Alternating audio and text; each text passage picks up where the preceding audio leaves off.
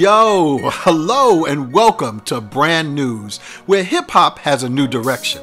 I'm your host, Christopher Martin, and this is the BNZ World Report Newz and Reviewz, where we share just four of the many great stories reported last week in our News to Know section at brandnewz.com about individuals and events making a difference around the world and even up the street. So, without any further delay, let's check out our first story.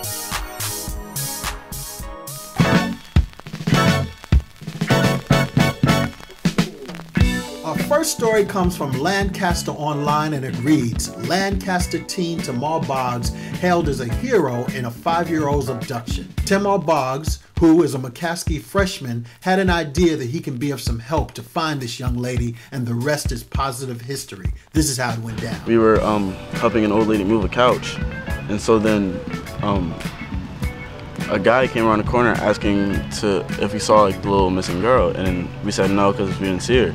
So we went back into the house, and um, we were watching TV for a little, and his Kane's mother came and said that there was a bunch of cops outside looking for a little girl, and so we should go look for her. And and so then we got like a, like a whole bunch of my friends that I know like around Lancaster Arms and Lancaster Green to go search for her, and we walked a pretty good amount of distance to look for her, like back in the woods and where they said she could have been gone. And so then we came back and we couldn't find her. So we came back and uh, the whole block was filled with cops and firefighters. And so then I was sitting on Joseph's bike, which was the boy you saw me with, uh, his bike, and I had a feeling in my stomach that I was going to find her.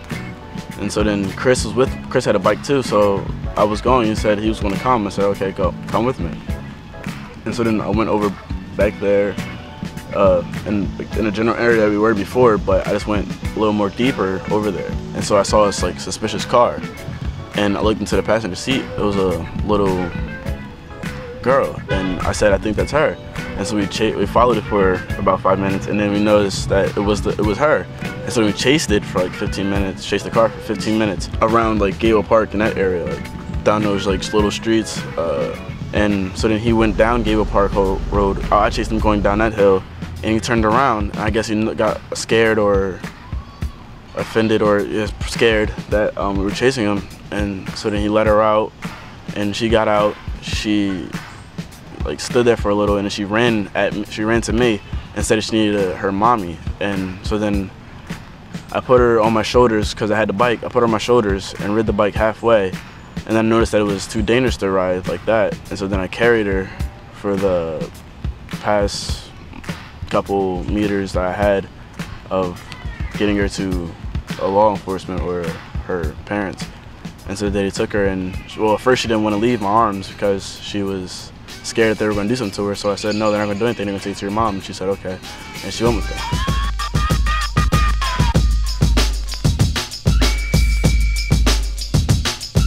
Our next story comes from Clutch Magazine and it reads 16 year old WondaGurl produces new song on Jay Z's Magna Carta Holy Grail.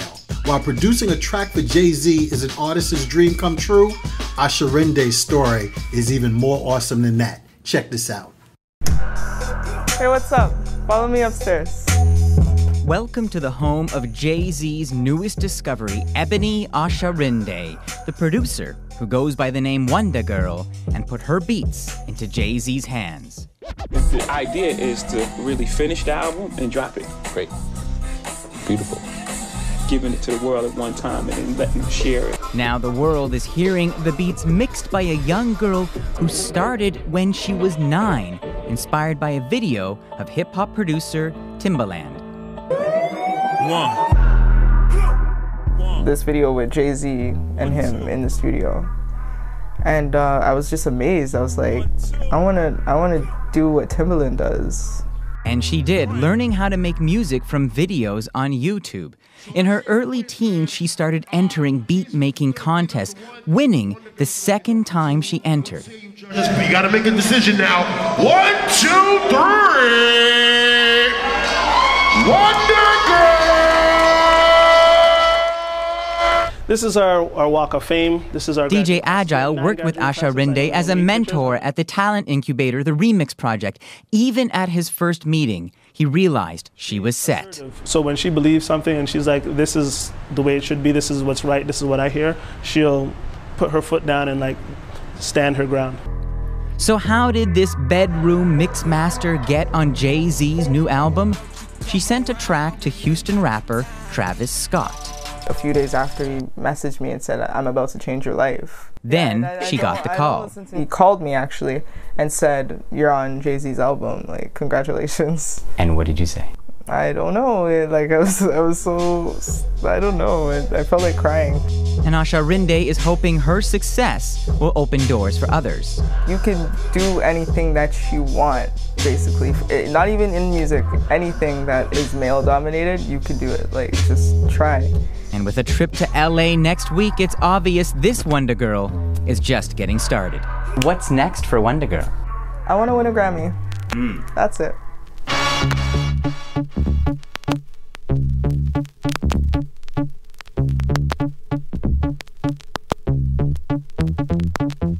Now it's time for a special Team BNZ report coming from our friend Jay Sweet as he hangs out at Fade's Barbershop for another segment of A Little Off the Top. What's up, Jay? Yo, this is Jay Sweet with Team BNZ. We're giving you a little off the top this morning. We're about to walk into Fades Barbershop and see exactly what they feel about the George Zimmerman case. We are waiting on the verdict, people. We're waiting on the verdict. Let's see what everybody has to talk about. It's like he was just defensive. how it went down, my man. He got out the car, followed Trayvon. Zimmerman got out of his truck with the gun in his hand. When he confronted Trayvon, they got into a little argument. Followed Trayvon. When he got up on Trayvon, he was running. He got tired of running. Just like I get tired of somebody running behind me, I ain't running no more. Got into a tough. Trayvon made it, caught it with a left. Then that's when the fight started. He went down. Once he went for the gun, Zimmerman had the gun, screaming and hollering. Trayvon went to holler for help. Bam! I tell you how it went down. The man walked up to him, shot him, and that was it. Tell me this, how you got the gun from behind his back, laying on his back? They were going for that gun, man. I just think, Ty, if, if you got a gun in your back and I'm gonna of you, How you get it? how you He get couldn't, he couldn't get it. I'm trying to tell you, he had the gun out. I think all that was made up, man. I don't even think they got in the scope. I think he just shot that boy, He just shot and, and then they did all that foolish. foolishness. Maybe the police in Sanford had something to do with it. This man was beating this man's head. His head been a little bit over. He'll have a concussion. He will have a concussion. That looked like a flashlight lick in the back of his head. So he could have got the flashlight and beat his own self upside the head.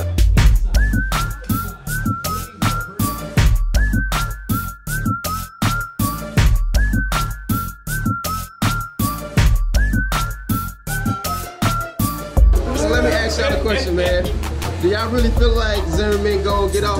No, he ain't getting off. If, if, if he get free, I just don't know where he gonna stay. Where he gonna go? He gonna go out to eat? He can't even go to McDonald's. Everybody can go to McDonald's. That's in the Constitution. My name Mike. If they don't find that white man guilty, Free rights to go to McDonald's whenever you want to, unless you Zimmerman or Casey Anthony. I'm taking the ball from the barber shop down there. That big gonna have to have uh, Barack Obama uh, service.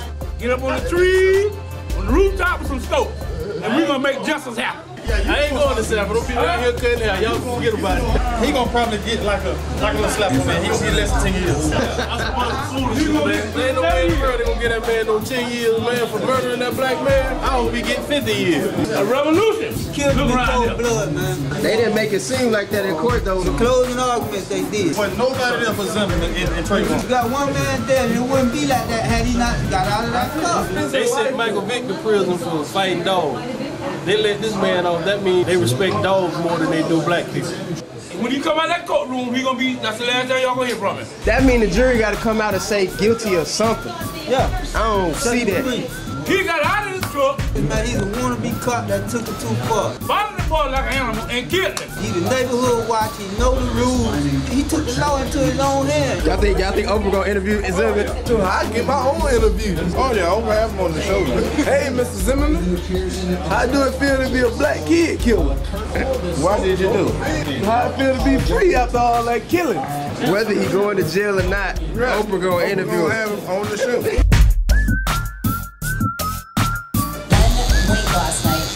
The most stressful And then what kills me about the whole situation. Every time something go on, guess who they blame for it? Who that? Obama. I was talking to a white dude the other day on my job. He said every time something go on, it's Obama. What he got to do with this trial? You actually think he gonna get off, man? Man, I think he gonna get off, man. All right, okay, okay. Who was like? I'm gonna take the law into my own hands. Best thing for you to do is just leave him alone. Police ain't gonna do nothing about it. I. Now he can kill the black man and get off, but if you do something to him, you going to prison. There's some lousy bums down there in Tampa. Bottom line, he going to prison. He's gonna be held accountable for what he did. He killed him in cold blood. We've done most of that.